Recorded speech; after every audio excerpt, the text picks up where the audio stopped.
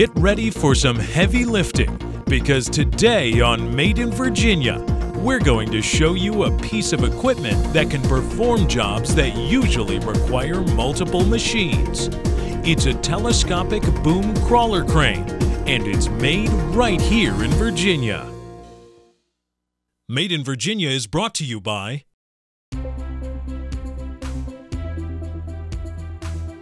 At Union Bank and Trust, we salute the dreamers, the thinkers, the doers, the believers, the builders, and the makers. Thanks to your vision, hard work, and innovation, you make Virginia shine. Union Bank and Trust, a partner of Virginia business and a proud supporter of Made in Virginia and Virginia Public Broadcasting. TMEIC, honoring Virginia's manufacturing heritage and proudly supporting Made in Virginia. TMEIC, we drive industry. And a very special thanks to Made in Virginia supporters. The Woodrow Wilson Presidential Library and Museum in Staunton, Virginia. A truly unique Made in Virginia experience. The Greater Augusta Regional Chamber of Commerce, a partner for success. And the law offices of Allen and Carwile.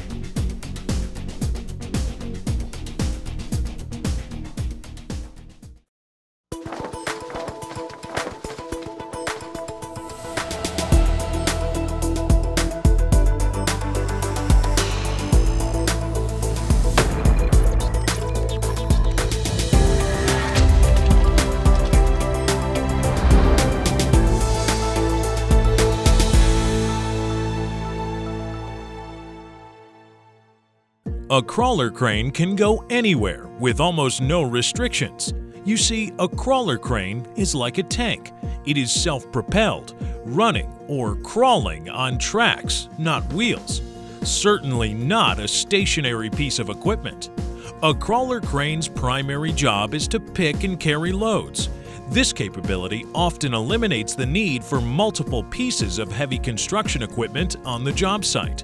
I think you would say the versatility of these cranes and just the ability to do multiple uh, applications out in whether it's heavy lift, whether it's electrical work with power lines and setting power poles, whether it's building bridges on a or retaining walls on a highway job, uh, tank building, uh, petrochem factories. There's so many different applications that a telescopic boom crawler crane that we make here in Virginia can do the Tadano Mantis crane can pick up, carry, telescope, and rotate a big load up to 130 tons and deliver it to where it is needed.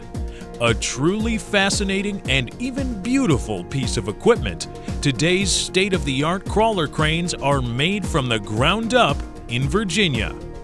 Pick and carry is really one of the major selling points of a telescopic boom crawler crane rough terrain cranes, all terrain cranes, you know, other types of cranes that have tires. Their major drawback in a lot of cases is you have to set up outriggers and be level when you're doing any picks. So what we have that's really special about this particular type of crane is that because it's on crawler tracks, you can pick a load and then you can travel with it.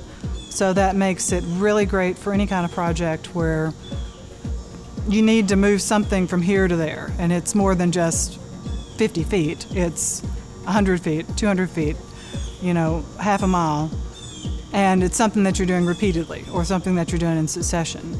Um, it's something that no other type of crane really does. There are certain job sites where if you just wanted to lift a heavy lift, you can get certain cranes for just that, but to actually be able to walk with it or carry it it's just such an advantage to depending on what you're doing. I mean, if you're you know setting uh, power poles, the ability to grab the pole, auger in the hole, set it down, take a man basket up, you know, as they get the lines ready to go, electrical companies love it. We have always designed the product to meet or exceed the customer expectations. And I know a lot of companies say that. But really, internally we have very high standards. So we don't want to say, well, it'll lift 100 ton, but only if you add these extra things and you do it this one particular way. You know, we say, okay, it, if we say it needs to do this, you just need to be able to go out and do it. Richlands, Virginia and Claypool Hill in southwestern Virginia are small coal mining towns, both possessing a heritage that is synonymous with hard work, meaning that the men and women who work here, who build these cranes, have a keen sense of know-how and take pride in exceeding expectations no matter what the challenge. And building the world's best crawler cranes is certainly a challenge these Virginians and this Virginia manufacturer live up to. Its legacy line is the 6010A, the 9010A, 110MXA, and its newest line, the Global Teleboom Crawlers, or GTC series, with a Model 600, a Model 800, and the granddaddy of all crawler cranes, the GTC Model 1200, capable of picking up and moving a load of up to 130 tons. The boom can reach up to 47 meters, that's 155 feet, and with the added fly jib, can reach a total of 269 feet. Innovation is something that we've been really committed to, especially over the past four to five years. Uh, the GTC series that we've been working on has been our real first big development project uh, project since Tadano's purchase of the Mantis Cranes brand. So it's something where we've been able to take a step back, start looking at the product, a family of products, so that it's, you know, we're going to develop this many models, we're going to have them related in a certain way, we're going to add these features that we see would really help customers that people have asked for, that we think are good, that we've always kind of wanted, but were difficult to add on older models. So we've always trying to, to move ahead and do something new and innovative. No matter where the job is or under what conditions, the crawler cranes made in Virginia are by definition the right tool for the job. Now that you know what a crawler crane is and what it is used for, let's find out how Tadano Mantis makes these world-class cranes right here in Virginia. The manufacturing of the cranes takes place in two nearby facilities. The Claypool Hill facility is where it all begins. Here, the machinists, mechanics, and welders of Tadano Mantis take raw steel and cut, machine, weld, fashion and fit it into the elemental parts called the weldments that make up the crawler cranes. The component parts which are manufactured at the Claypool Hill facility include the boom, the track frames, the extended beams, the car body, and the upper rotating frame, or URF. The raw material for these foundational parts of the crane are massive and must be delivered via overhead cranes to the workstation in which they will be manufactured. Part numbers and other tracking information are written on the myriad of parts that are manufactured here at Claypool Hill. Welding is a high craft at Tadano Mantis because when you're building something this big designed to lift and carry up to 130 tons and with so many moving parts, it had better be strong. The car body is the main weldment and structural portion of the crane on which much of the crane is mounted. This includes the slew bearing, on which the upper rotating frame will sit. It provides 360 degrees of rotation. The track frames are built at Claypool Hill. Think of the tracks as the feet of the crawler crane. The tracks are designed to accept various types of shoes depending on the job specifications and ground conditions. The components of the track frame are the travel drives, bottom rollers, and the chain. Here, a track frame is being built. The track drive will mount in this hole when completed. For the GTC 1200, the track, from front to back, is a whopping 22.9 feet in length. The extend beams are also built here at Claypool Hill. Steel for the extended beams is fit up and welded together. One end of the extended beam will be inserted into a large channel on the car body. The track frames will be attached to the opposite end. Think of the extend beams as legs which extend and retract from the car body. The extend beams widen or narrow the crane's footprint from 12 to 19 feet. The track is narrowed for transport or working in tight situations. The tracks are extended in most cases for a more stable working base. The raw boom sections arrive from the supplier already formed with the top and bottom channels welded together. Fittings are welded onto the ends of each boom section. The bore for the boom hoist is built and welded on the first boom stage. There are numerous moving parts, cylinders, cables, and sheaves that support, extend, and lift the load. Tight tolerances, within fractions of an inch, are critical on the boom to make everything work. Single boom stages can reach out to as long as 40 feet long by 4 feet high. The GTC 1200 has five boom stages, the boom is assembled one stage at a time, smallest to largest. Stages are inserted one into the next.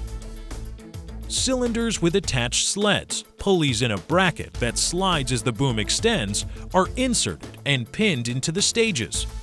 Steel cables pass over the sleds and attach to the stages, allowing the boom to extend and retract smoothly. Finally, sensors, valves, and hoses are installed. The boom head is assembled with pins, bearings, and sheaves, commonly called pulleys. The head will extend upwards to 155 feet and is the working or lifting end of the boom. The working range of the boom can be extended another 105 feet with the use of a jib. The upper rotating frame is fit and welded.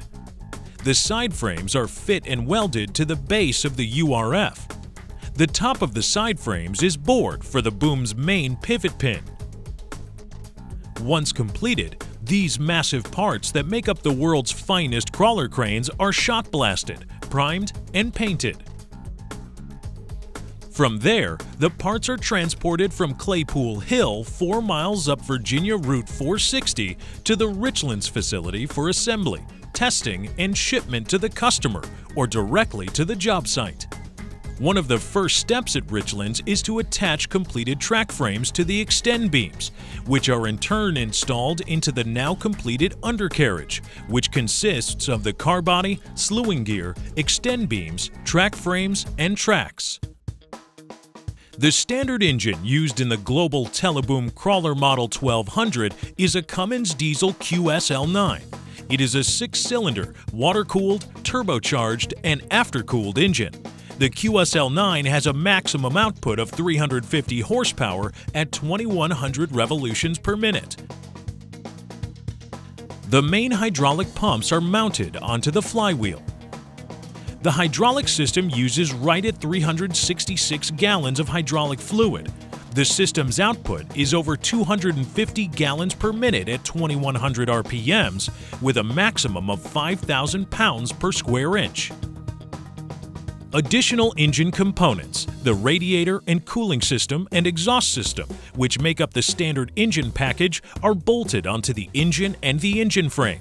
The now completed power plant is ready for installation. It will be bolted to the upper rotating frame. In addition, the fuel tank, drive system monitors and controls, counterweights, and hydraulic valves are attached, the cab, which is typically custom built to the customer specifications, and the control room for the crane is also installed onto the upper. One of the final steps is to pin the cab tilt cylinder to the cab structure. Once both the undercarriage and upper are completed, it is time to deck the crane. The final fit of the upper to undercarriage is a testament to the skilled Virginia machinists, welders, and mechanics that make the Tadano Mantis cranes. With the decking of the crane completed, the skilled workmanship continues here at the Richland plant. Hydraulic hoses and electrical wiring is installed. No detail is overlooked. These cranes must be highly reliable, made to last a long time, and work in the harshest environments all around the globe. Next comes the all-important installation of the boom assembly. The boom is attached to the upper with the large pivot pin and on the boom's first stage with the boom hoist cylinder. With the boom assembly now attached, all hydraulic and electrical components, including sensors, cameras, monitors, and remote control components, are attached. Now completed, the GTC 1200 is just over 55 feet long and weighs in at 262,000 pounds. These cranes are built to work safely on big jobs, so before they are delivered to the customer or job site, all functions, including operational and load monitoring and feedback, remote control, automated setup and takedown, and of course the primary task to pick and carry a heavy load up to 130 tons, is tested and calibrated to exacting specifications. What we do in the shop here after assembly is we take the crane out of the shop, we check every function of the crane, basically through a function verification document. Um, every one of the functions is timed to make sure it's within a certain tolerance.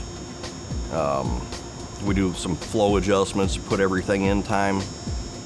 Inside the air-conditioned, ergonomically designed cab is a full set of instrumentation that provides constant feedback from all aspect of the crane's operation, including three cameras that give clear views of the job site and load monitoring systems that display continuous information on the lifted load versus capacity. The Tadano Mantis cranes are also capable of complete remote control operation. Utilizing a highly user-friendly remote control panel, you do not need to be in the cab to start up and operate this workhorse all the functions an operator would find in the cab are right at your fingertips, meaning in the hands of a skilled operator, the job, large or small, will be done safely and in the most efficient manner possible.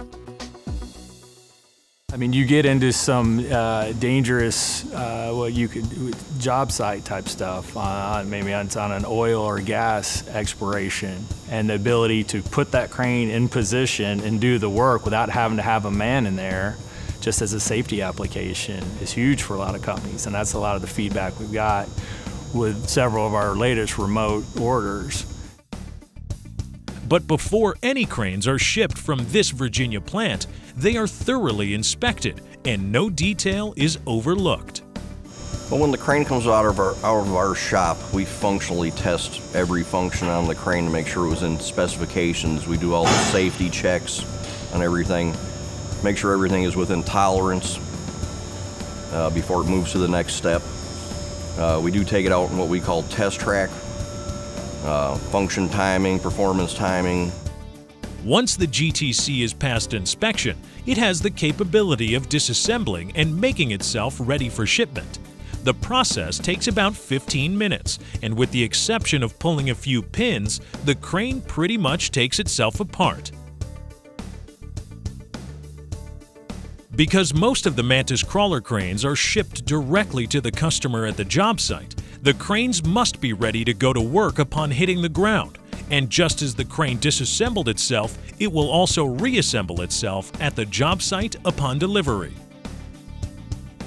Basically, when we ship the crane, I mean, the fluids are full, it's full of fuel, it's ready to go right to a job site and work. Southwestern Virginia, long known for its coal mining, also maintains a legacy for manufacturing world-class products like the Mantis cranes. The area is rich in natural beauty, but its best assets are the Virginians who take pride in knowing that what they produce is the world's finest. I think it's just part of the the culture that we have. I mean, it's a lot of work goes into these cranes, and nobody wants to to spend 40, 50 hours every week working on stuff that that isn't right, that doesn't perform, that the customer's not happy with. Everyone wants to do a good job, and they want to be proud of their work. Well, I guess I've been with the company nine years now. It's a great place to work. Um, when I came to the when I came to the job here, I was an assembler by trade, anyways. You know, I felt a, a real level of pride in my work and pride in actually seeing what we sell go to a customer, the customer satisfied, the customer safe operating our cranes. Tadano Mantis means a great deal to Southwest Virginia and the jobs that they provide for several employees in our area and they're jobs that these people enjoy, that they're jobs where they've gone and gotten schooling in order to be able to do these jobs. We partner with uh, Southwest Virginia Association for Manufacturing, SVAM, uh, MTC Manufacturing Technological Center, and they um, they are a training guide. They provide training for um, for for industries like welding, uh, machining, um, which is actually a pool for us to choose from. A lot of our, uh, as I said before, a lot of our applicants they come from the, the coal mining industry. They just need to have those skills that they've got. They need to have them honed. The Southwest Virginia Alliance for Manufacturing works with manufacturers in the region and different partners to promote the sustainment and advancement of manufacturing in Southwest Virginia. So that's the big picture. So how we do that is we work to link manufacturers up with the resources that are available to them in Southwest Virginia. Some of those training resources and some of those otherwise employment resources and things like that. And then a big thing that we do is what we're doing today is working to improve the image of manufacturing. That when people think of manufacturing, a lot of times they think of that 70s version, that dark, dirty, dangerous, I don't want to do that job. And so we're working to promote what manufacturing actually looks like in 2017. I really enjoy this job because you really feel like you really feel like you can see where so many parts fit together, but the functions are, you know, it seems very complicated, but at the same time, the functions are very practical. You know, I, I always, sometimes I call it, it's almost like an offensive lineman of cranes. We're in the dirt. We'll fix the bridge, we'll fix the power, you know, we'll build the water tank. It's all the practical things of life that people just kind of take, yeah, for granted you know, how they get their water, how they get their power, how they how their roads were constructed, how their bridges were constructed, why that retaining wall is, you know, on the side of an interstate now. And we build all that. And I think that's just very rewarding, you know, to see the labor that goes on here in Virginia, you know, both at Claypool Hill and Richlands, builds machines that have such practical applications out in the world and all over the world, which is really fun. I mean, we have cranes in, from Antarctica to Thailand to South America to you know, New York, LA, Australia, and everywhere in between. One of the things that you, you have to understand is that this area in particular has always been married to the coal mines. Um, if you didn't work in the coal mine industry directly, uh, you worked in the grocery stores that sold the food. You worked in the car lots that sold the vehicles. You worked in the gas stations that sold the gas to the vehicles that went in the mines. You built mining equipment. Everything was married to the mines. Well, that industry, as of late, as everybody knows, has it's taken a hit, um, and a big hit. Uh, so you don't just see it on with the workers that work in the mines. Everybody feels it. And Tadano has has come in. They they've been great because um, they've taken this they've taken this workforce that is very good at what they do. They take pride in their product. Um, there is an an ethics here that's ingrained in our workers. Our workers take pride in what they do. Um, or the people in this area take pride in what they do. Tadano's Tadano has capitalized on that. They've taken um, a workforce that was struggling with an industry that is long since gone, um, all but gone, should I say. And they've uh, they've provided training on top of that that product pride that, that, that the people here already have, and they've built a workforce that is is is creating a product and building a product that, I mean, my opinion, is second to none. So you won't see a mantis crane rumbling down the highway. But be sure that the bridges, utility poles, and other major pieces of infrastructure that make up the highway system and other large-scale construction projects were completed with the use of a crawler crane, and the world's finest Tadano Mantis is made in Virginia. The crane was originally invented to replace a ramp, which allowed material to be moved vertically. The earliest cranes of ancient Rome were called trispastos and consisted of what three primary parts? A. A beam, a rope, and a three-pulley block? B. A beam, a rope, and a hand crank? C. A beam, a counterweight, and a rope? Stay tuned to Made in Virginia for the answer.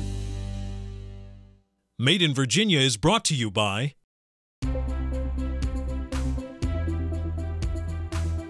At Union Bank and Trust, we salute the dreamers, the thinkers, the doers, the believers, the builders, and the makers. Thanks to your vision, hard work, and innovation, you make Virginia shine. Union Bank and Trust, a partner of Virginia business and a proud supporter of Made in Virginia and Virginia Public Broadcasting. TMEIC, honoring Virginia's manufacturing heritage and proudly supporting Made in Virginia. TMEIC, we drive industry. And a very special thanks to Made in Virginia supporters. The Woodrow Wilson Presidential Library and Museum in Staunton, Virginia. A truly unique Made in Virginia experience. The Greater Augusta Regional Chamber of Commerce, a partner for success. And the law offices of Allen and Carwile.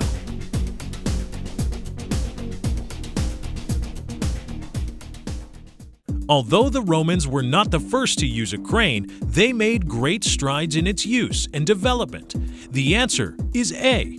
A trispastos crane consisted of a beam, a rope, and a three-pulley block. The trispastos increased a man's repeatable long-term lifting power from 50 kilograms to 150 kilograms, just over 300 pounds. From ballistic armor to flying surfboard keels to just about everything in between, you will be amazed at the list of products manufactured by the Strongwell Corporation, the largest pultrusion company in the world. Join us as we reveal the secrets of pultrusion and the boundless applications for pultruded fiber reinforced polymer products next time on Made in Virginia. If you would like to learn more about today's episode or suggest a Virginia manufacturer for the program, you may visit us at madeinvirginia.tv and at wvpt.net.